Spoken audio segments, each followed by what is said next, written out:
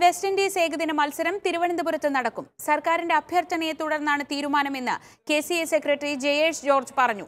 കായിക മന്ത്രിയുമായി നടത്തിയ ചർച്ചയിലാണ് തത്വത്തിൽ തീരുമാനമെടുത്തത്. ഇരുപത്തിനാലാം തീയതിയിലെ ജനറൽ ബോഡിക്ക് ശേഷം അന്തിമ തീരുമാനം പ്രഖ്യാപിക്കുമെന്നും ജയേഷ് ജോർജ് പറഞ്ഞു.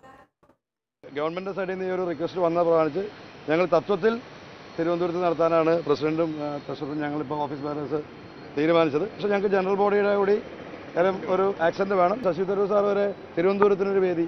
തിരുവനന്തപുരത്ത് ക്രിക്കറ്റ് കൊച്ചിയിൽ ഫുട്ബോൾ അങ്ങനെ ഒരു ഇത് എനിക്ക് തോന്നുന്നു അനാവശ്യമായിരുന്നു. കാര്യം ടെണ്ടുൽക്കർ വരെ ഇടപെട്ടു. അദ്ദേഹവും മനസ്സിലാക്കിയത് ചിലപ്പോൾ ഇത് മൊത്തം പൊളിച്ചു മാറ്റുന്ന. ടെണ്ടുൽക്കറിന് വിക്കറ്റ് ഉണ്ടാക്കുന്നതിനെ പറ്റി അറിയാൻ പറ്റില്ല. അത് എനിക്കും അറിയില്ല നിങ്ങൾക്കും അറിയില്ല. അതവിടെ വിക്കറ്റ് ഉണ്ടാക്കുന്ന കുറേറ്റേഴ്സിന് അറിയാവുള്ളൂ.